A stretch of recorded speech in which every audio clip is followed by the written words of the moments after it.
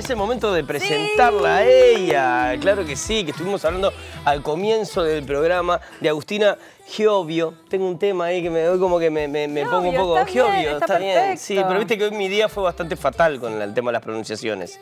Entonces, en un momento no quiero fallar. ¿Por qué? Porque su música no falle. Quiero estar a la altura de lo que hace y presentarla como corresponde, porque viene sacando hit tras hit tema tras tema, teniendo una repercusión en redes y en las plataformas increíble, con muchos seguidores y seguidoras que vienen bancando su música y para nosotros también es un placer poder tenerla aquí hoy y charlar un poquito sobre su historia. Así que si te parece...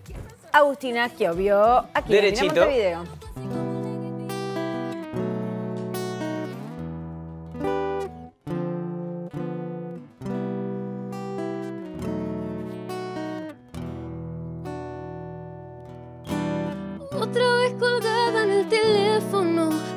Hubiese dicho que tu amor fue solo un préstamo. Tú eras mi todo, yo tu pieza de repuesto. Todo menos honesto y yo. Ya me corté la sala, no quiero volar. Si mi madre se entera, se pone a llorar. Ya no encuentro más batalla que quiera pelear. ¿Pa' qué pelear? Es que el espejo me incrimina de inseguridad. Siento que estoy envenenada por su oscuridad. Le pido por favor a un Dios, aunque no sé rezar, salir, sanar. Me gustaría poder darte una aplicación, tirar todos mis sentimientos en esta canción. Pero de a poco me consume ya la depresión y le vuelvo a arriscar. Otra vez colgada en el teléfono, me hubiese dicho que tu amor fue solo un préstamo.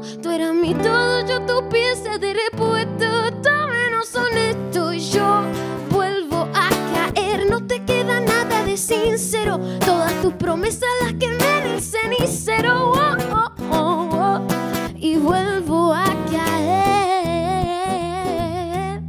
Gracias por los efectos secundarios. No hay pastilla que me cure tanto daño. Tengo sueño y ganas de seguir soñando. Ya me caen lagrimita mientras me voy empañando. Vivo mi vida en pánico, con la mente fisurada en rewind, you know. Ya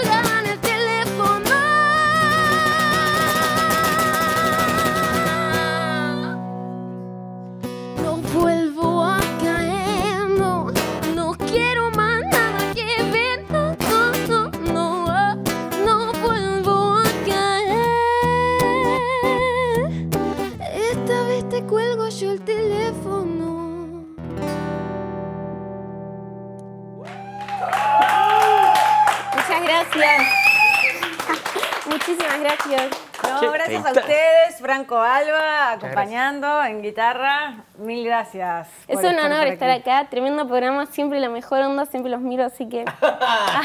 qué bien, qué. Muchas Qué gracias. divina, Bueno, buenísimo. vale vos, por favor. Bueno, Agus, arranquemos por, por el principio, ¿no? Tu vínculo con la música, eh, desde, desde pequeña, aparte con la música y con el arte en general, porque también sos actriz. Sí, Este, sí, sí, sí, sí. Siempre, siempre digo que empezó en una clase de ballet, creo. O sea, ahora ya abandoné el ballet, estoy muy oxidada. Pero empezó, me acuerdo, cuando tenía, creo que tres años, que me di cuenta enseguida que no pintaba hacerlo como hacer una vez por semana, ¿viste? Como algo como... Ya ahí como que dije, no, quiero hacerlo como, en vez de ir a educación física, quiero venir acá, ¿viste? O sea, y desde ahí que primero fue el baile, después la comedia musical, después fue cantar y después fue como escribir canciones y, y sigo, en, sigo en esto. Divino, tenés ahí una, ahí ya te tocaste una pata importante de, tu carrera, que disfrutás mucho que la gente te, te haga devoluciones con la música, pero te toca el corazón cuando la devolución es por la letra.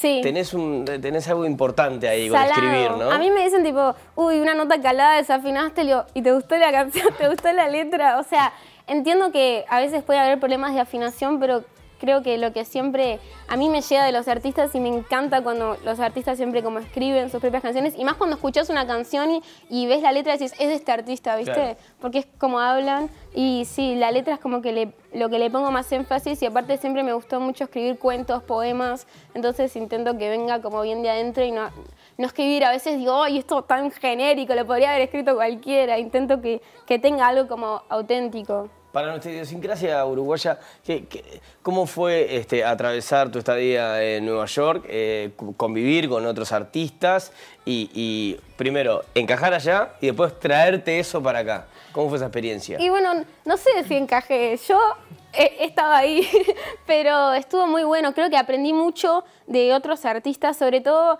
eh, donde yo vivía se usaba mucho el freestyle, ponele. Y acá creo que recién, ahora hubo un boom de freestyle en los últimos años y recién eh, estaba como creciendo, o yo no me había me- metido tanto en la movida Claro. por ahí porque yo tenía 16 cuando me fui y a- cada tanto veía batallas de freestyle. ¿Fuiste con una beca? Sí, me fui con una beca que, bueno, la condición, o sea, yo tenía como la beca, pero la condición era terminar el liceo para irme, así que apenas terminé al, al mes me fui.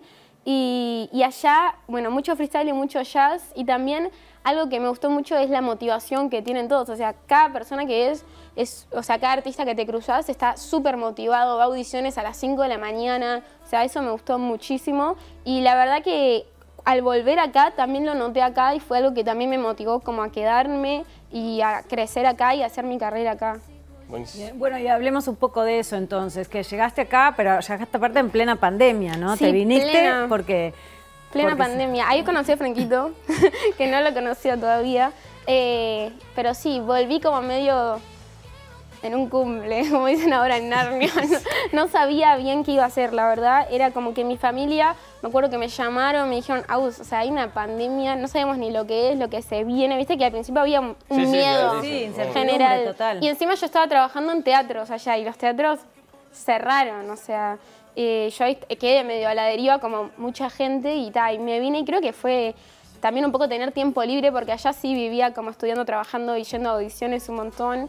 Eh, tiempo libre para escribir que me, me inspiró un poco a decir, bueno, quiero dedicarle a esto, o sea, ahora quiero enfocarme en esto. Y, y, bueno, nos están contando cómo se conocieron, vos formar, formás parte de la banda. de Sí, la banda obvio, de desde, desde el principio, desde que Sí, me volví. Un par de años, capaz. Sí, Sí, o sea, la pandemia volviste, fue en claro. 2020 Exactamente. y a mí me salió primero toques así, tipo un, eh, medio, medio chico y ahí yo ya conocía, bueno, a Nico Belloso que toca el bajo y ahí Nico Belloso me conectó con Franquito Fuimos y, juntando músicos. y quién diría que estaremos yendo a un Cosquín Rock eh, Sí. dos años después, pero Increíble. nada, la verdad que está buenísimo, a mí me importa mucho que que la banda, por más de que yo me presente como solista, que la banda sea lo más estable posible y, y que también eh, o sea, me importan mucho sus opiniones al, al momento de sacar una canción, de hacer arreglos musicales, me importa un montón. Buenísimo, tenemos bien que lo comentaste, tenemos Te vas para el Cosquín Argentina, eh, que de acá viaja la vela, viajar te va a gustar, están ustedes ahí. Sí, sí, y sí. tenés Vas a estar ahí también medio de reportera ahí en las Voy a redes, estar ¿no? en las redes de TV Ciudad, así que estoy copada. Para mí es un sueño cumplido y me encanta hacer como notas, hablar con gente, así que voy a estar un poco por las redes de TV Ciudad, por suerte. Muchas gracias por la oportunidad. Excelente. Eh, y tenés Cosquín también acá. Cosquín acá Te con salió vos. hoy la, sí, hoy, hoy no no puedo zafar, ¿viste? no, no es como tremendo, me parece raro. Sí, sí, no, la traje en verdad para hablar de mí, ¿viste? O sea, la idea que viniera ella y yo que hablar. Pablo. Silvera estrena su nuevo Sí, sí, claro proyecto que sí. Mota en el Cosquín Rock. Blanqueamos ahí, el 21 vamos a estar con Mota ahí tocando. ¿Está? Perfecto. Volvemos. Eh, me interesa, antes de cerrar, eh, porque tenés esta cosa como urbana, de que es reconocible la música que haces dentro de más o menos lo, lo- lo que sucede, pero también uno puede ver que hay una beta, tanto de estética como cada tanto en la manera de cantar o las cosas que escribís, como con, con- con el rock. Sí, sí. Es que mm, yo siento que, o sea, estoy en constante cambio, siempre creo que casi todos los artistas estamos. eh, pero cuando volví, o sea, ahora como que viéndolo desde afuera, tuve como una mentalidad de, bueno, tengo que hacer esto porque si quiero hacer música tengo que hacer esto. Y después en realidad dije, no, si voy a hacer mis shows, o sea, tengo la oportunidad de hacer un show con músicos que están de más, voy a cantar algo que para mí de verdad, o sea, yo me pare esto, no sé si los demás opinan como yo, pero que a mí me guste y siempre me quedó ese rencor de no ponerle un poco de punk rock o rock que yo escuchaba mucho adolescente y me dio, viste, la adolescencia es un momento que todos nos acordamos como un poco de rebeldía, un poco de eso y, y yo siempre como que no lo superé. Entonces quería llevarlo al escenario un poco y ahora estoy eso, fusionando un poco, a veces algo más rock y a veces algo más urbano lo que salga. Buenísimo. Chiquilines, muchas gracias por Muchas haber gracias a estado hoy ustedes. acá. Cerramos con ustedes. Mucha suerte allá en Argentina, en el Cosquín. Disfruten muchísimo y bueno, los veremos acá cuando Obvio. estén en el Cosquín de acá. Totalmente, ¿Está? muchísimas gracias. Gracias por haber estado acá. Arriba. Bueno, nos toca a nosotros cerrar el programa, decir que pasamos precioso, como todos los días estamos, los tenemos acostumbrados y nosotros este, también. Sí. Nos vemos mañana. Chau, chau. Chao. Nos vemos. Adelante.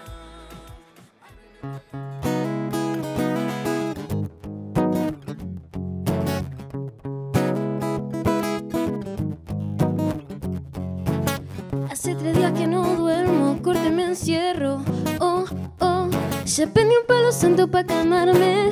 Pero ni al universo hoy le pinta contestarme. Siento que estoy un poco loca. Y pa'l carajo se aceptó la derrota. Ya no soy quien quería ser. Parece que los años pegan de una vez. Maldición fue verme crecer y ahora me sobran los días para enloquecer. Ya probé la ley de atracción, la manifestación y lo único que siento es maldición. Fui buena y fui mala por un tiempo, fui vegana sin ofender a nadie. Hablaré de mi hermana sana, sana, colita de rana. El que no sana hoy tampoco tiene que por qué sanar mañana.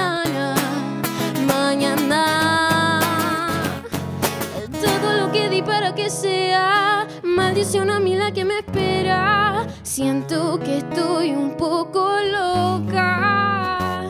Mucho más fácil es culparlo a la luna, lo me quedé sin pila, la mente me hizo tu tu tu. De cómo vivir quiero un tutorial en YouTube. tu, tu. Si yo fuera maga me convertiría en Looney Tunes, como Kim K, pero lloro cuando escucho Green Day. La paciencia es clave, no lo dije yo, fue Bill Gates. La vida me dijo bitch pay.